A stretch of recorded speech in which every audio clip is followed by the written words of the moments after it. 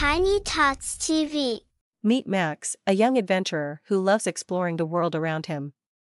Today, Max has set off on a new adventure, determined to discover the hidden treasure that he has been dreaming of. As Max walks through the forest, he hears a loud cry coming from nearby.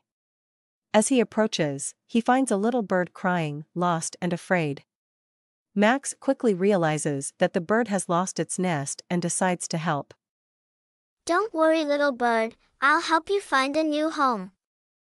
Max gently picks up the bird and starts looking for a safe place for it to stay. After a while, he finds a cozy tree and carefully places the bird in its new home. The bird chirps happily, thanking Max for his kindness. As Max continues on his adventure, he sees a small turtle crawling slowly on the ground.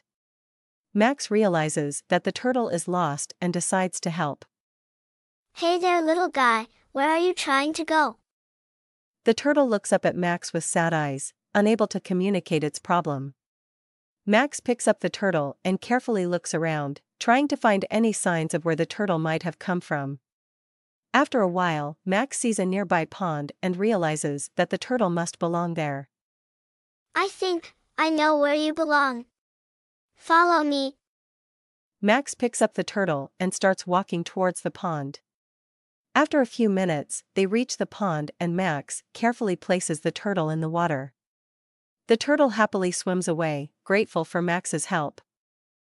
Max continues on his journey and comes across a sad rabbit sitting by itself.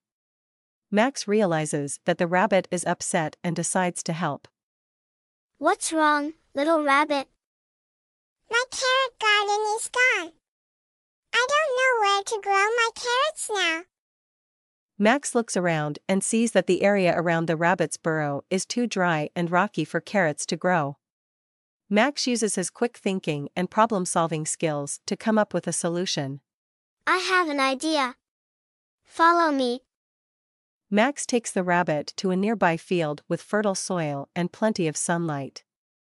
The rabbit is overjoyed and starts hopping around, thanking Max for his kindness. After a long day of adventure, Max finally returns home.